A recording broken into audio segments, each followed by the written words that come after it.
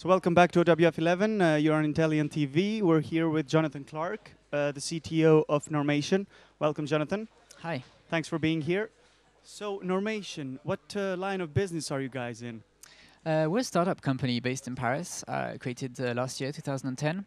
Uh, we work with uh, configuration management tools. Uh, we work with two tools, essentially, which are CF Engine, which is a well-known open source configuration management tool, uh, we're partners with the CF Engine company. We do lots of uh, work with them. Uh, and we have developed our own configuration management tool called Rudder, which is built above CF Engine, which will be open sourced pretty soon. Okay, and uh, what's the difference between these two tools? Well, the aim of Normation is to bring uh, configuration management to as many people as possible. Uh, CF Engine is a very powerful tool. It's uh, very low level, but it's quite a steep learning curve. It's quite hard to get into.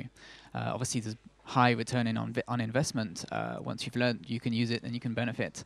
Uh, the aim of Rudder is to bring configuration management much more simply to companies that wouldn't be willing to invest in a tool like CF Engine. So with Rudder, you can get the benefits of CF Engine by using predefined configurations, just using a web interface. Three clicks later, you get the benefits of this tool. And uh, what, what what's your target audience? You're saying that you want to simplify uh, these management tools. So what what uh, what do you bring that is better than in uh, in the CF Engine? Um, it's a different approach. Uh, it's we bring pre-built configurations. Obviously, they're going to be more uh, general, maybe less specific. It's going to be harder to adapt them to each environment, but they are already built. With CF Engine, you'd have to build your own configurations up, so you can get every little detail exactly the way you want it. With Rudder, your time from start to actually getting configuration management running is going to be a lot shorter. Okay, and uh, so what's your stance on open source with your uh, product line now. So what, where is Normation and open source? We are uh, in the same place.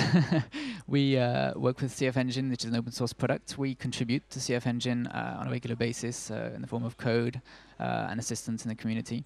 And our own product, Rudder, is an open source product. I say this, it's not currently online, but in the next couple of weeks, it will be online on rudderproject.org.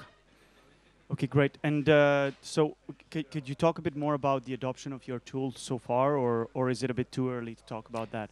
Well, it's a little early to talk about our own tool, Rudder, as it's not yet released as open source. Um, it's been tested by some private beta testers who are very enthusiastic. Uh, I can talk about CF Engine. Uh, CF Engine is a widely used configuration management tool. It was the first uh, configuration management tool of its generation, first created in 1993 by Mark Burgess from the University of Oslo and it's evolved through the years. Uh, now we've reached CF Engine 3, uh, which is a complete rewrite over the previous versions, and uh, is getting widespread adoption at the moment. Yeah.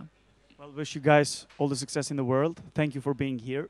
Thank you very much. I hope you're enjoying OWF 11. See you guys soon on Intelli'N TV.